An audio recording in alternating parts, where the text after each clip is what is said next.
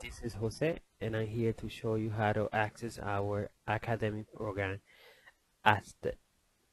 What you're going to need is a computer, either a laptop or a desktop, internet access, a web browser, it could be Mozilla Firefox, Google Chrome, Microsoft Edge, or Safari for Mac. The link to Aztec a username and a password. Remember the link will be given to you by your instructor.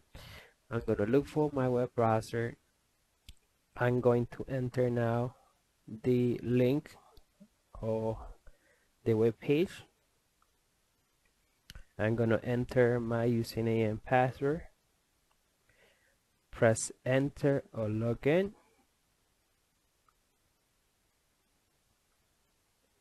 and now you will see once you inside the web browser program on the right, side you will have a list of courses that will be given to you by your instructor. And on the left side you will have information regarding your account and your classroom setting. That's it. Thank you for watching